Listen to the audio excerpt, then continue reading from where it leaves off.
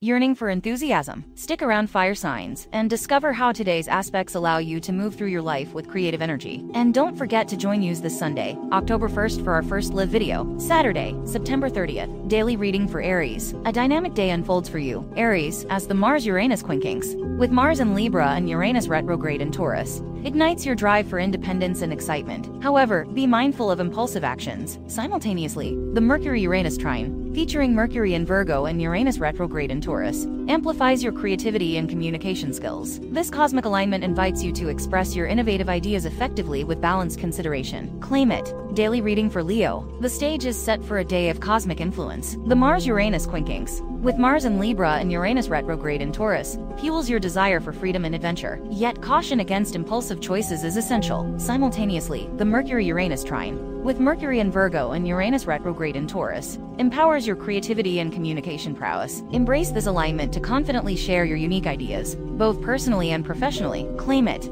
Daily reading for Sagittarius. Your adventurous spirit takes center stage as the Mars-Uranus quincunx unfolds. This cosmic dance encourages you to break free from limitations and embrace change, but do so with care to avoid hasty decisions. Meanwhile, the Mercury-Uranus trine enhances your communication skills and innovative thinking. Leverage this energy to express your unique ideas and collaborate effectively in various aspects of life. Embrace new horizons with your trademark optimism, and success beckons. Claim it. Today's fire affirmation. Positive energy of the divine universe brings me happiness. Hit follow to explore the vastness of the astral dimensions.